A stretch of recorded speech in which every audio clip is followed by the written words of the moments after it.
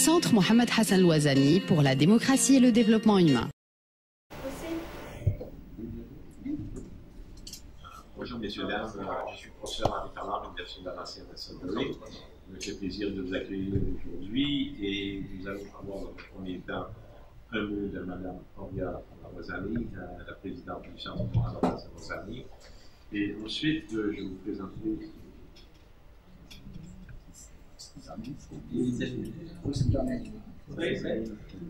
et ensuite, euh, je euh, vous présenterai euh, le professeur Chijago de l'Université Rennes à Beijing. Et ensuite, nous entendrons la conférence du professeur Jago. Alors, dans un premier temps, Madame Ozani, la parole est à vous. Merci beaucoup. Mesdames, Messieurs, chers professeurs, chers amis, au nom du Centre Mohamed Hassan Ouazzani pour la démocratie et le développement humain, je suis particulièrement heureuse de vous accueillir en ouverture de la conférence du professeur Jiyalu Shi de l'Université de Pékin, qui nous parlera du code civil chinois entre tradition et modernité. Aujourd'hui, il s'agit d'une séance spéciale et privilégiée. Nous recevons simultanément un éminent spécialiste qui nous vient de la lointaine Chine. De passage au Maroc, il s'est spontanément proposé de nous entretenir de ce qui lui tient particulièrement à cœur dans ses recherches et ses pratiques juridiques. Mais nous retrouvons aussi un ami de longue date de notre centre, le professeur Henri Pallard de l'Université Laurentienne du, du Québec. C'est lui qui nous a suggéré d'inviter son collègue chinois, étant tous les deux invités à prendre part un colloque international à Marrakech à la fin de cette semaine. Je tiens à remercier nos deux grands juristes pour la disponibilité à animer cette séance. Le professeur Henri Pallard s'est proposé d'introduire son collègue chinois et à présider cette conférence. Nous pensons qu'il est pertinent pour le public marocain d'entendre les propositions que le professeur Xi va esquisser en ce qui concerne les réformes entreprises en Chine. Le Maroc est lui aussi engagé depuis quelques années déjà dans un processus d'adaptation de ses institutions juridiques aux normes modernes.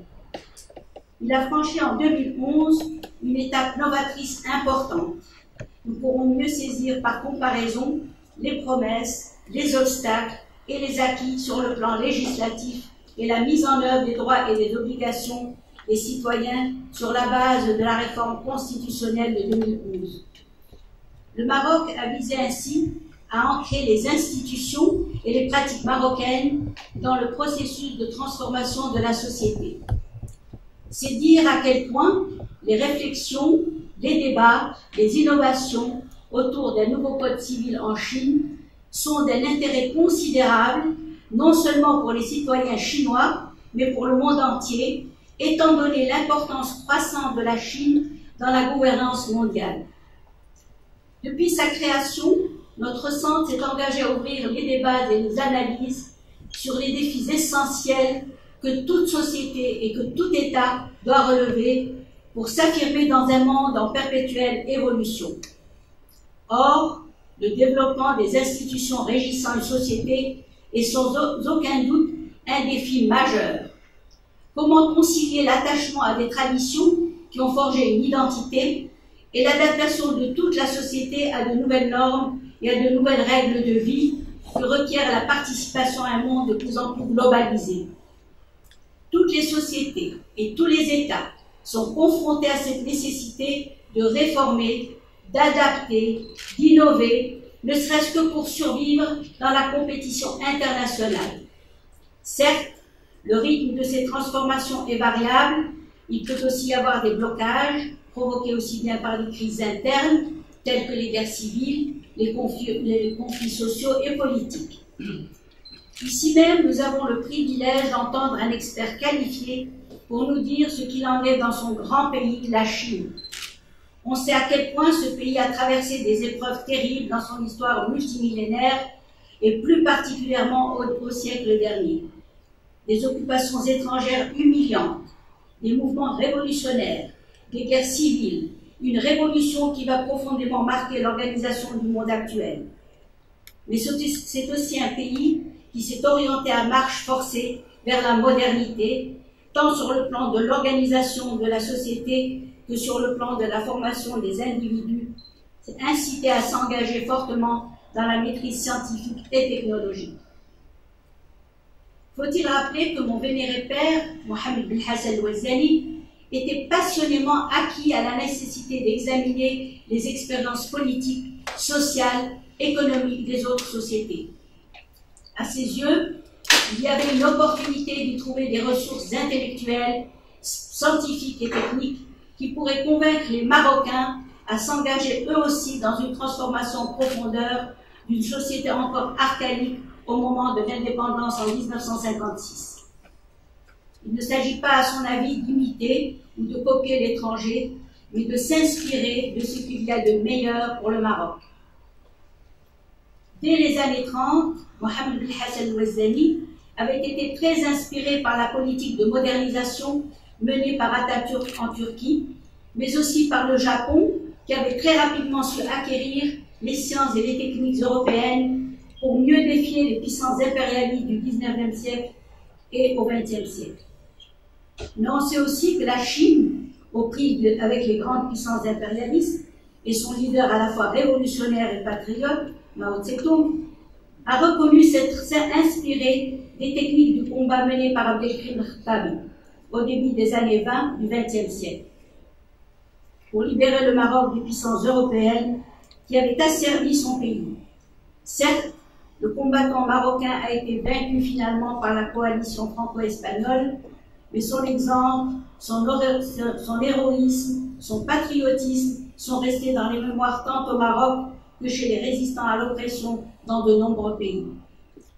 C'est dire qu'entre le Maroc et la Chine, il y a des potentialités d'échanges innombrables. Nous y contribuons pour notre part par notre séance de ce jour, dans l'espoir qu'elle incitera d'autres initiatives. Je tiens encore à remercier nos intervenants, le professeur Chi et le professeur Pallard, ainsi que tous les participants pour leur engagement à nourrir les réflexions et les débats au sein de notre centre, créant hommage à mon très cher père, pour qu'il soit un lieu de débat libre et constructif. Selon nos pratiques, à l'issue de l'exposé, tous les participants sont invités à prendre part au débat. Je tiens à signaler que l'exposé et le débat sont enregistrés et seront prochainement disponibles sur notre site ainsi que sur YouTube. C'est la raison pour laquelle il est important que les intervenants annoncent leur identité, nom et titre et fonction pour que les auditeurs puissent mieux saisir les interventions. Notre centre vous propose ces publications que vous pouvez vous procurer ici même. J'ai le plaisir de vous annoncer que nous venons de sortir de presse les actes du colloque de septembre 2017, le processus démocratique au Maroc depuis 2011, quel bilan? Il est aussi disponible en e-book sur notre site web. Notre centre est une association dont vous pouvez devenir membre. Une modeste cotisation donne ainsi droit à acquérir gratuitement nos publications annuelles et à prendre part à nos activités. Notre collaboratrice scientifique, mademoiselle Maha Stellat, se fera un plaisir de vous procurer une carte de membre. Je tiens à la remercier pour sa collaboration et l'organisation de cette conférence. Enfin, je tiens à vous annoncer que la prochaine conférence aura lieu le 4 juillet 2019. Son thème, les transformations géopolitiques dans la région du Maghreb et leurs implications pour l'unité et l'avenir des pays de la région. Il sera traité par M. le professeur Mohamed Zahraoui de l'Université Khader de Marrakech et M. le professeur Abdelaziz Karaki de l'Université suisse de Rabat est présidé par le docteur Mohamed Shakir de l'Université Hassan II de Casablanca. Merci pour votre participation et pour votre soutien. Je vous souhaite une séance riche en informations et en échanges amicaux. Merci de votre attention.